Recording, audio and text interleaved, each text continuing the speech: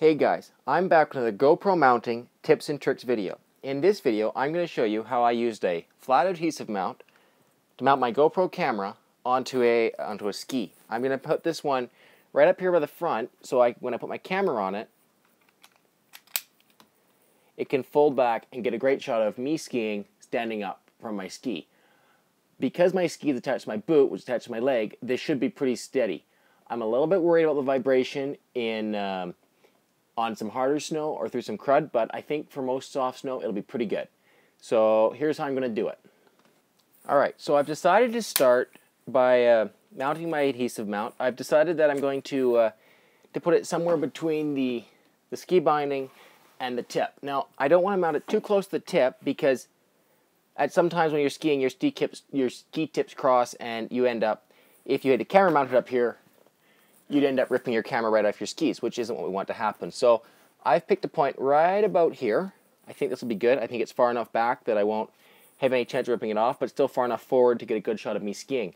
Um, I'm going to begin by giving the surface where I plan to mount it a really good clean. If I had acetone, that'd be a good thing to use on this.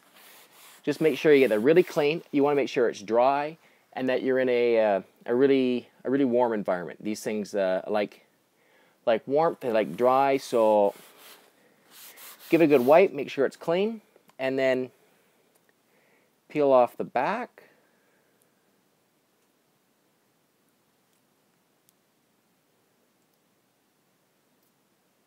Now, I've already tested where I'm going to put it, and I know how I'm going to line it up. So, once it's off, I'm not going to put it down right away. I'm just going to do one final check of where I'm going to mount it. I've made sure that the surface I'm mounting it on is very flat this my ski here head there's there's no there's no detailing on here so it's very flat. So I'm just gonna go it's gonna put straight down right here. I'm gonna make sure I got it lined up. So just like that.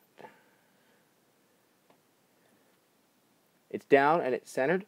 I'm gonna apply pressure for a little bit just to make sure it's it's on there good. Now I'm really to want to make sure that I leave it for about 24 12 to 24 hours before I actually take it anywhere try and use it. The This double-sided sticky tape, this VHB, is a, a lot like glue. Once you put it down, it needs to set, and the more time it gets to set, the the tighter or the stuff, the the tougher it's going to be. So there's my there's my mount. It's stuck down. You can see from the side. Very low profile when uh, when the camera's not on. Once the camera gets put on, it's just going to slide on like this. Tighten down the bolt, of course, and then I think we're in for a great shot of me skiing. One other thing that I would like to add would be if you find that the, the standard mount, when it's mounted on your ski, doesn't allow the camera to get far enough, to tilt far enough back and you, you can't get your head while you're skiing, um, replacing the, the standard mount with a, with, a J, with a J mount is a great way. Uh, this allows the camera to fold back all the way back. You really won't want it that far back, but uh, if we see with the J buckle here, we can the camera can fold back a lot more, allowing even uh, a, a, farther up shot. One last thing I would like to add before uh, you guys go out and start skiing with this mount would be make sure that you uh, you tie the mount on to, to something on your ski. So uh, if you haven't, if you don't know how to do it, there's a video on my channel about adding a securing loop to your GoPro. You should check it out, put one on, and then tie it. So I've got a little piece of string. I'm going to tie it through there Put my mount on. Little knot here.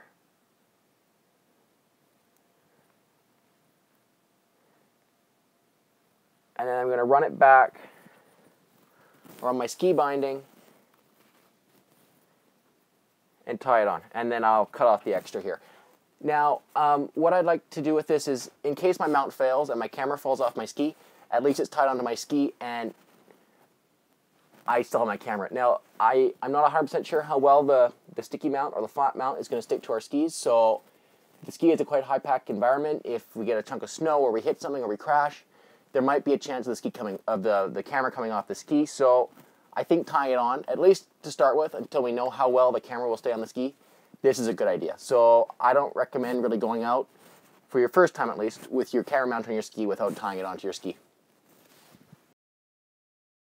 As you will have seen from the footage that I will have put up at the beginning of the video, this gets awesome shots. If you guys have enjoyed this video, uh, please subscribe to my channel. It always really helps. I like to know that you enjoy these. If you've enjoyed this and you like it, please leave me a comment below or like the video. Uh, thank you all for watching and check out some more of my videos that I have. They're all awesome.